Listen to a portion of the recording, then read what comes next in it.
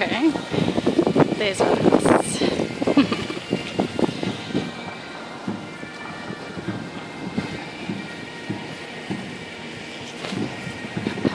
now, let's just go there. Can you see? Can you see? It's got a sprinkling of snow on it. Okay. And this is 10 minutes before we walk up there. Bye.